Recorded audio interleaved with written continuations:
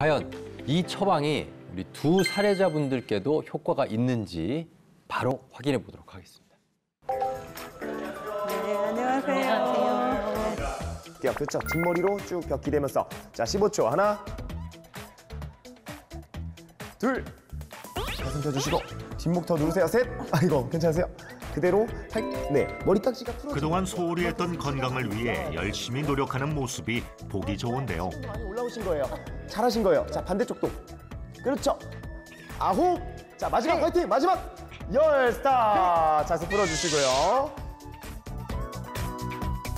너무 평소에 운동을 안 했나 봐요. 이 동작마다 이게 다 힘드네요.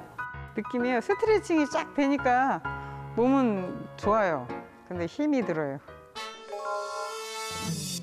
땅콩까지. 오, 좋으시네요. 어, 저런 접시가 있었으면 좋겠다, 실제로.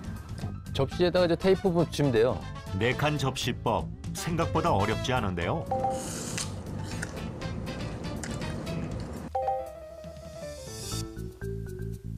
골고루 먹을 수 있고 이렇게 하면은 모든 영양소를 다 섭취를 할 수 있어서 어 이거 너무 괜찮은 것 같아요.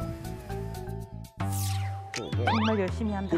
자 다리 들게요 자 허리 아치 생기지 않게 힘들어 보였던 첫날보다 훨씬 잘하시네요. 업. 하나, 세 개입니다. 내렸다가 올릴게요. 업. 둘, 오케이. 내렸다가 그렇죠. 아니, 깍지 풀면 안 돼요. 자, 둘, 좋아요. 위에서 만난다는 거예요. 다섯, 오케이.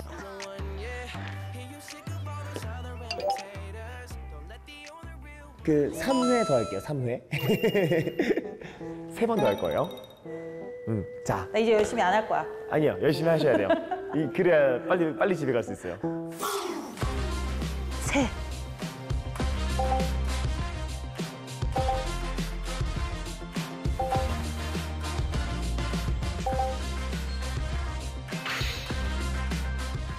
자, 어머니 결과가 어떻게 나왔을까요? 잘 나왔으면 좋겠어요. 참가자들의 바람은 이루어졌을까요? 이번에 결과가 좀 어떤가요? 야, 결과가 저도 흥미롭더라고요.